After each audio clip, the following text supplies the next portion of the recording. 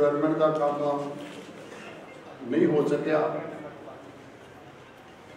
ਪਰ ਜੇ ਇਹ ਗੱਲਾਂ ਸੋਚਦੇ ਰਵਾਂਗੇ, ਜੇ ਗੁੱਸੇ ਗਲੇ ਕਰਦੇ ਰਵਾਂਗੇ,